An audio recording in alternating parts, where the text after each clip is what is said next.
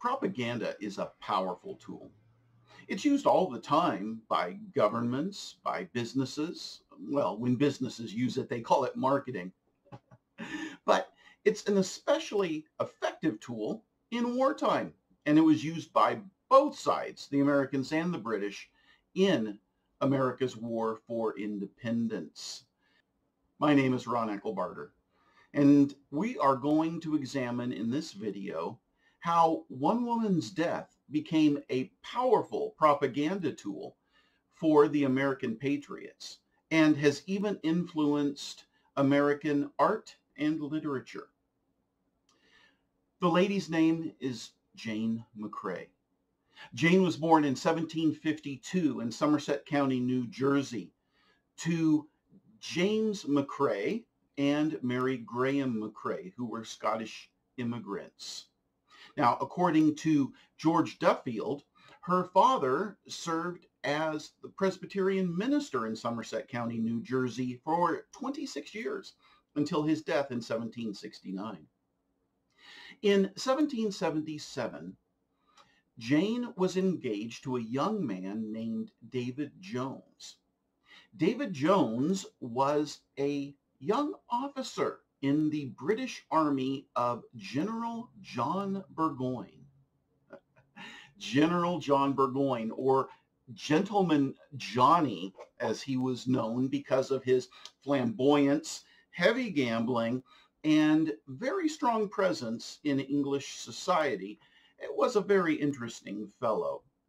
He was able to convince King George III to sign off on his plan to invade the colonies from Canada.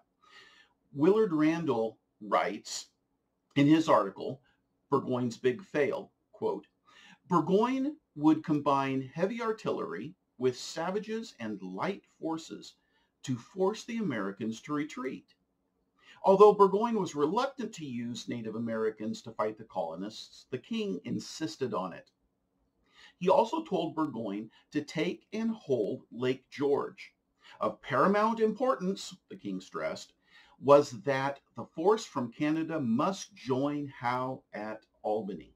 Unquote. Burgoyne was successful in marching down out of Canada and retaking Fort Ticonderoga in New York and marching all the way south to Saratoga.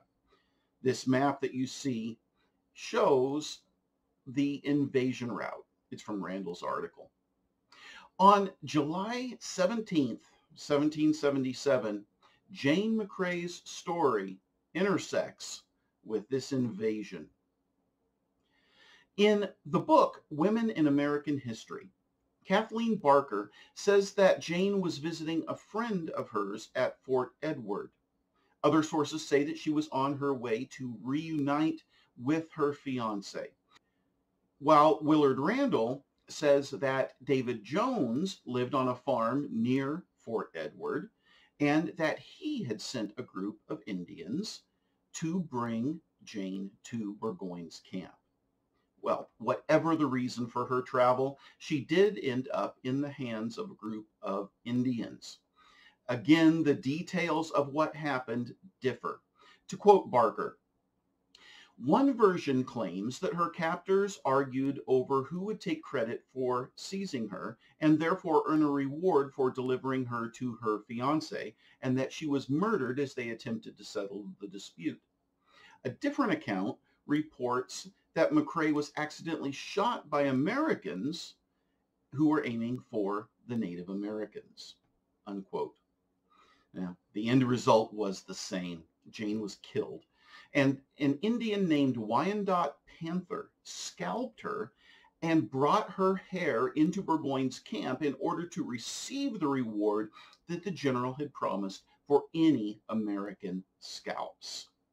Well, Burgoyne was furious that a white woman had been scalped.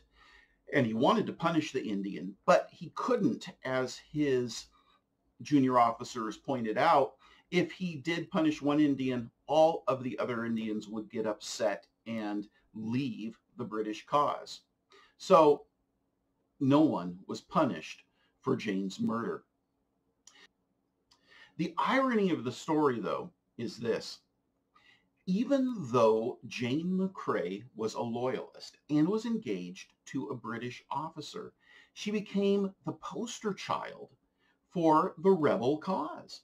Colonial newspapers quickly picked up and embellished the story of Jane's massacre to paint the English as brutal to women and children American General Horatio Gates sent a letter to Burgoyne in September of 1777 accuse, accusing him of hiring murderers to murder women in their wedding dresses.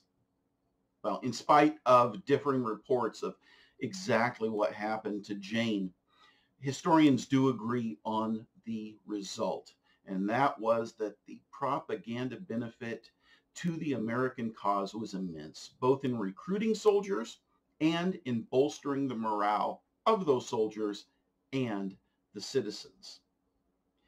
To top it all off, American generals Horatio Gates and the future traitor Benedict Arnold defeated Burgoyne at the Battle of Saratoga. Now, Jane McCrea's influence lasted well beyond the American War for Independence. Her death was the basis for a character named Lucinda in a portion of the epic poem The Columbiad by Joel Barlow, which he wrote in 1807. She was the subject of numerous paintings, which you've been seeing these paintings and the credits for them as we have been talking about Jane. One of the most famous was John Vanderlyn's painting the death of Jane McCrea, which he painted in 1804. She is even said to be the inspiration for part of James Fenimore Cooper's classic, The Last of the Mohicans. One final piece of ironic marketing to consider is that in 1901, the Jane McCrea chapter of the Daughters of the American Revolution erected a monument to Jane McCrea, the young loyalist who was going to marry a British soldier.